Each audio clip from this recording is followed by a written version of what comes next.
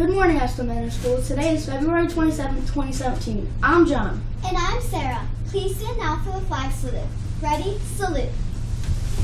I pledge allegiance to the flag of the United States of America and to the republic for which it stands, one nation, under God, indivisible, with liberty and justice for all. For lunch, we will be having chicken patty, grilled cheese, and turkey club. Scrumptious, which will you choose? Now it's time to move, to move to the weather desk with us.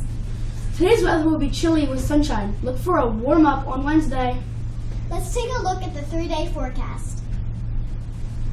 Today will be a high of 50 degrees and a low of 44 degrees. It will be partly cloudy. Tomorrow will be a high of 55 degrees and a low of 50.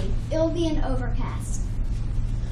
Wednesday, it will be a high of 64 degrees and a low of 47 degrees. There will be a chance of 80% chance of rain and a thunderstorm. Now back to the main desk. Thanks for the great great weather update. Remember to bring in sports physicals. Today, make sure to attend the cyber safety event here at Estell Manor School at 6:30. The HSA will be providing refreshments.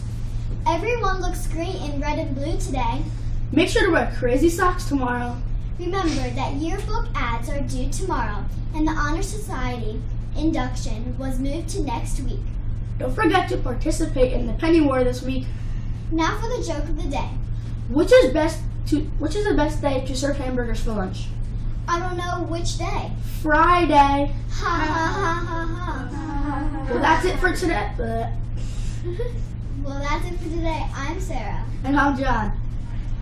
Wishing you a marvelous Monday.